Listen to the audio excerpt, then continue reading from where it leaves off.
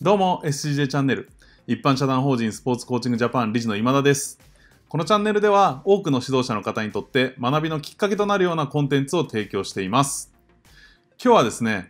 目標設定の話を今までたくさん出しましたけど目標設定をした後に考えるべきコーチングポイントについてのお話をしていきたいなというふうに思います。コーチングポイントっていうのは何かというと目標を設定した後、その目標を達成するためにどういうポイントを意識しなければいけないかっていうところが、コーチングポイントという言葉の定義になります。これがないとどういうことが起きるかっていうと、例えばですね、100メーターの練習をするときに、今日は100メーターを0.1秒速くするっていう目標設定をして、練習に臨んだとします。で、コーチングポイントが明確になってないと、例えば選手が走ってる姿を見て、早く走れ、早く走れ、ね、0.1秒、0.1秒短くするために早く走れっていう風に、なんかこう、コーチングじゃなくて、むしろなんかこう、応援してるだとか、0.1秒早く走れっていう風に命令してるだとか、早く走ってくれっていう風にお願いしてるだとか、なんかそういったコーチングでは全くない、ただの声かけみたいな形になってしまいます。なんで、ゴールを設定した目標設定、練習の目標を設定した後に、必ずこのコーチングポイントっていうのは設定しなければいけません。じゃあ、コーチングポイントを設定するときに大切なポイントってどういうところがあるのか、まあ、そういった話を今日はしていきたいなというふうに思います。で、そもそもコーチングポイントっていうのは、まあ、先ほども言ったんですけども、何かというと、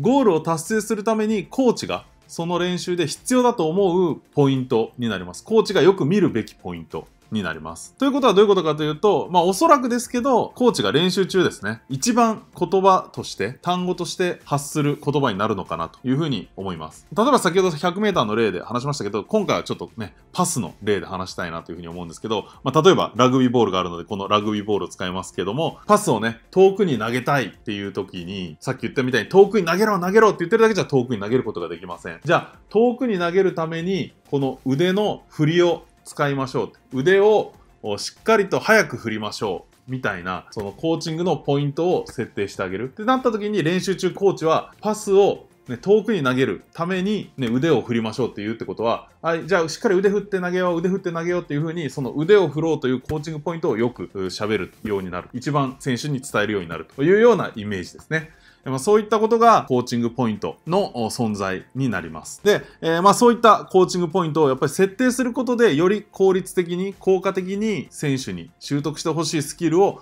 習得させてあげれるようになるので、このコーチングポイントの設定っていうのは非常に大切です。じゃあ、コーチングポイントを設定するときにどういうことに気をつけなければいけないのかというとですね、これ一つは当たり前なんですけど、意外と落とし穴があるのが、ちゃんとゴールに対して、練習の目標に対して関連している、リンクしている、そんなコーチングポイントであるかどうかっていうのが一つ大切なポイントになります。で、もう一個がですね、ここのコーチングポイントっていうのは、やっぱりいっぱいコーチはね、気になるポイントあると思うんですけど、マックスで3つぐらいまでに絞らなきゃいけない。なるべくコーチングポイントを絞り込んであげるっていうのが2つ目、とても大切なポイントになります。やっぱり人間っていうのは、ね、いっぱいいろんなこと言われても頭の中残りませんから、大体ね、3つぐらいが限界だって言われてる中で、コーチングポイントっていうのは、まあ大体多くても3つぐらいに絞り込むっていうのは大切だというふうに言われています。これそれぞれについてちょっと話をしていきたいなというふうに思うんですけども、1つ目のですね、ゴールに対して関連しているコーチングポイントになってるかどうかっていうところについてなんですけども、これ当たり前のようで実は結構できてなかったりする時があります。どういうことかというとですね、さっきのパスをこう遠くに投げるみたいな、本当に動作として得させたい時っていうのは、それがあまり起こりにくいんですけども、これがですね、ま、例えば、ま、状況判断が入ってきた時とか、あとは、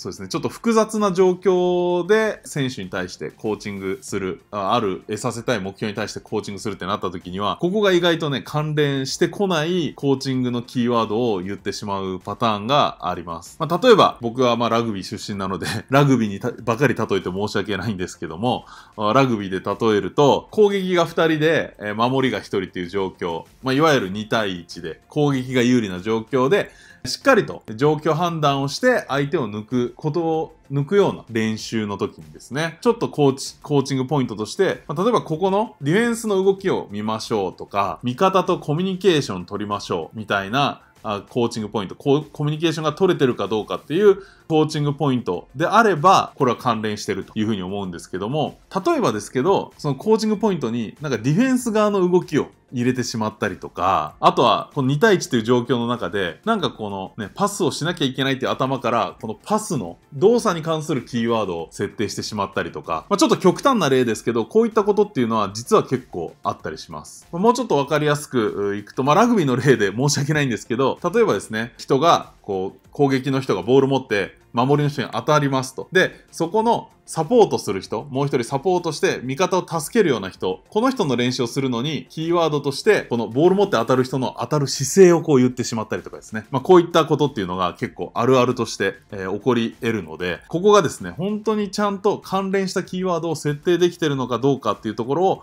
コーチが考えるっていうのは本当に大切なポイントになります。だからまず第一に自分がね、えー、設定したキーワードっていうのはこの目標、練習の目標に対して関連してるのかどうか。コーチはコーチングポイントを設定した後に今一度そこを考える必要っていうのがあります。で、二つ目のコーチングポイントのを絞り込むというところに関してなんですけど、まあ、コーチっていうのはですね、やっぱり競技の熟練者であることがあまあ、往々にしてあります。で、そういう熟練者になればなるほど、気づくポイントっていうのはいっぱいあるんですよね。気になるポイントっていうのはどんどんどんどん増えてきます。で、そうなった時に、じゃあ、同じ練習やるにしても、あれも気になる、これも気になる、あれもやってほしい、これもやってほしい、これも意識しないと、あれも意識しないと、どんどんどんどんいっぱいそういうポイントが出てくるんですよ。そうするとですね、受け手としたら、じゃあ結局何を意識したらいいの？何をしたら上手くなるの？っていうところが、こんがらがってしまうんですよね。だし、コーチも本当に大切なポイントって何なのかっていう、その大切なポイントが薄まってしまうっていうこと。これよくあるんですよね。だからこそ、本当に大切にしたいポイント、その練習で伝えたいポイントについて、絞り込むっていう作業をしなければいけない。何をしたいかっていうとこもそうですし、何を見ないかっていうところも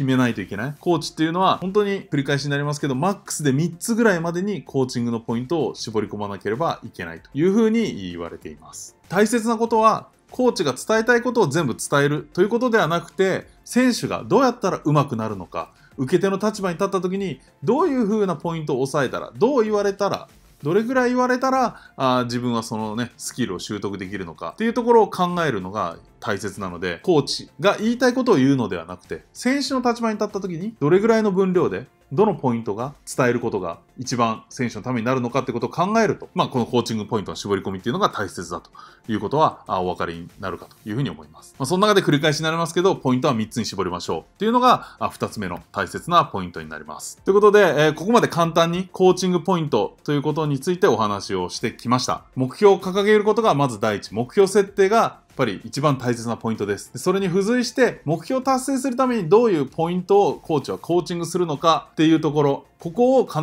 ず設定しないと、ただの声かけ、ね、励まし、お祈りみたいな形にコーチングがなってしまうので、ここをしっかりと設定、コーチはしましょう。で、まあ、それを設定した、する際に考えなければいけないのが、ちゃんと目標に対して関連した、リンクしたものになっているのかっていうポイントが一つと、コーチングポイントを絞り込めてるか、マックスで3つぐらいまで絞り込めてるかっていうポイント、この2つのポイントをぜひ意識して、いい目標設定するのと同じぐらい大切ないいコーチングポイントっていうのを設定してほしいなと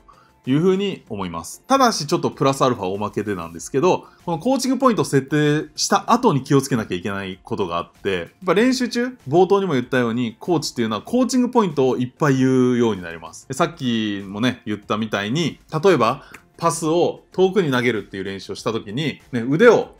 早く振りましょう。っていう風にコーチが言ったとします。で、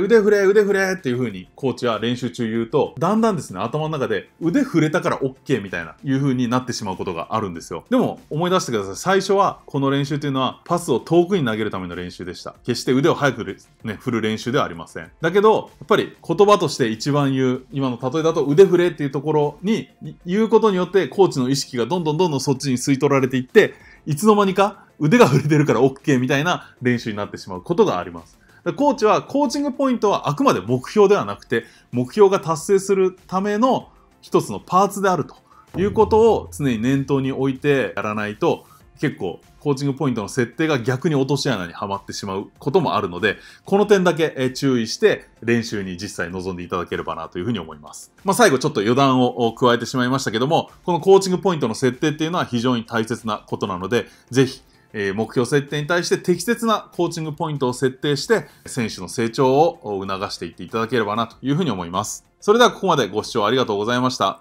えこのチャンネルを見て、え少しでもいいなと思ってくださった方は、いいねボタンを。そして、えまだチャンネル登録してくださってない方は、ぜひチャンネル登録の方もよろしくお願いいたします。それではまた次の動画でお会いしましょう。さようなら。